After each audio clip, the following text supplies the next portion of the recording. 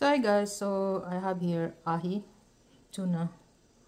This is like 12 ounces. I'm gonna make my own version of uh, tuna poke.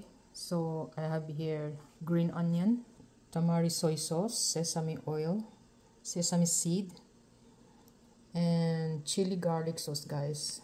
I already made here 1 tablespoon of tamari soy sauce, 1 tablespoon of sesame oil, and 2 teaspoon of the chili garlic sauce. And I will add 1 tablespoon of sesame seed later guys. And here's my version of tuna ahi poke guys. It's so good guys with that garlic sauce chili garlic sauce sesame seeds sesame oil and tamari sauce guys. It depends how much you're making guys. Double your sauce